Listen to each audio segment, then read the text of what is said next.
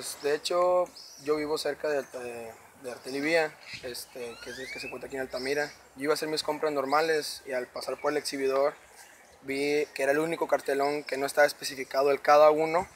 para el producto que estaban en venta, ¿va? Este, y pues se me ocurrió, pregunté y me dijeron que pues que sí te la tienen que hacer válida, ¿verdad? Así que pues en mi carrito que traía para hacer las compras eché todos los desodorantes, que eran 235, y me fui directo a caja, ¿verdad? Este, y ya pues no me los quisieron vender, la, la cajera no me los quiso vender porque según ella decía que los desodorantes eran 39.90 por cada uno y pues pero en el papel no estaba estipulado que era cada uno, así que me trajeron al gerente, hablé con el gerente, el gerente no quiso, me trajeron a otra persona que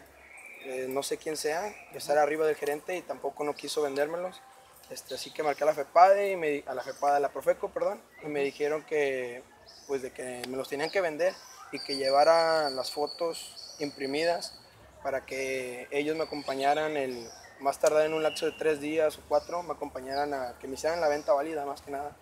porque pues es un error de ellos, no, no de uno.